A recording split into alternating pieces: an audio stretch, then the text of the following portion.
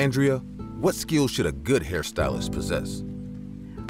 Well, first of all, in order to be a good hairstylist, you have to know how to do hair. So, um, the, the more you work on your skills at doing hair, the better hairstylist you will become.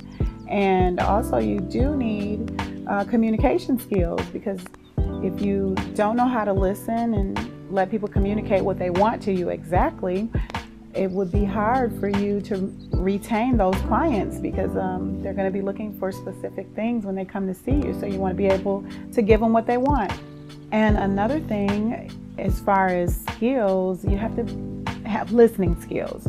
Like you definitely have to be able to become um, teachable. You want to definitely be up on the new trends and be able to learn new trends and, and take criticism. So when someone tells you that they don't like something, to not take it as a put down, but to take it as uh, a way um, to know what you need to learn. And until um, you have mastered listening skills, it's going to be difficult for you to be a great hairstylist.